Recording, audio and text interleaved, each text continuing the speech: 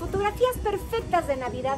Vengan conmigo, miren qué bonito pinito aquí del atelier. Estoy con Ana Lorenzana, que me está grabando, por cierto. Oye, platícame, tú eres experta tomando fotografía. Te podemos encontrar en Instagram como Ana Lorenzana, pero hay varios tips muy básicos para tomar la foto perfecta en Navidad. Empecemos con el uno. ¿Cuál nos sugieres? Uno, limpiar el lente. Yo sé que es básico y la gente como normal, pero la gente no lo hace. Y siempre tiene huellas y siempre tiene grasa. Es importante que si vas a tomar una foto, limpies el lente. Así sencillo. No hace falta que traigan todo el kit de limpieza, con lo más suave que traigan de la ropa, ¿no? Tip con su lentito, exacto. Tip número dos, iluminación. Importantísimo. Importantísimo que si uno quiere hacer una foto correcta para subir a sus redes sociales, tiene que buscar una, eh, una Fuente de luz. fuente de luz o una lluvia de luz que te caiga directo. Aquí hay luz directa de la calle porque hay una ventana. Podemos buscar el encuadre de lado, ¿no? O directo que la luz venga a nuestro rostro, pero que no nos tapemos. Sí, hagamos una. Órale.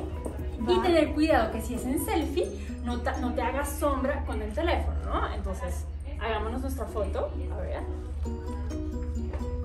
Modo selfie. Entonces ahí nos está entrando la luz, no estamos haciéndonos sombra cuando hay sol, ¿no? Exacto. No empezamos las dos.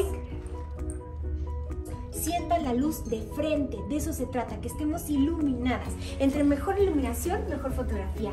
Tip número 3, el retrato. ¿Cómo usamos el retrato? Modo retrato. Es muy bonito porque nos da la posibilidad de tener toda la imagen perfecta o de hacer partes borrosas. Pierdan el miedo a su teléfono, por favor. Aquí lo tenemos. Vamos a irnos a la focal. Si estamos más cerca a 1.4, vamos a tener mucho más borroso la parte trasera de la foto, de la imagen. Y si nos vamos hacia lo más cerrado, 16, vamos a tener toda la foto Muy nítida. en exacto, nítida, en foco. Bien. Entonces ahí tenemos las dos.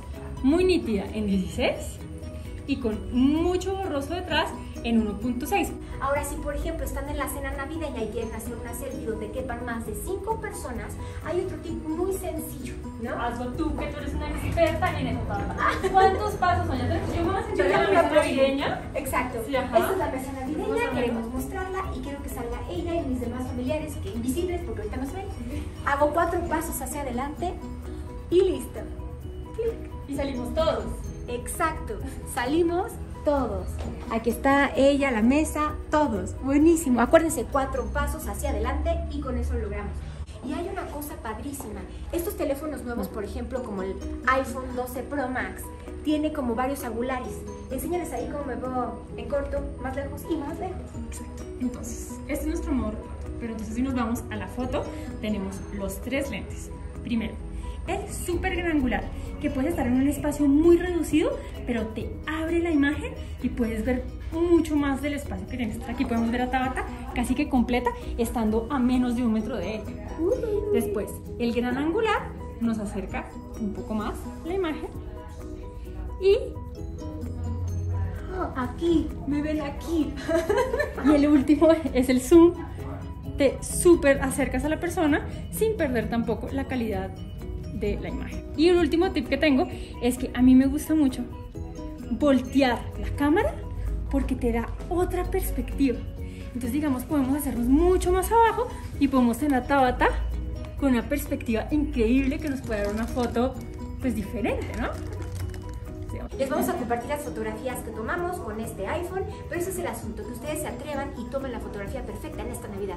Gracias a la Lorenzana, así la encuentran en Instagram. Soy Tabata Jalil. Adiós.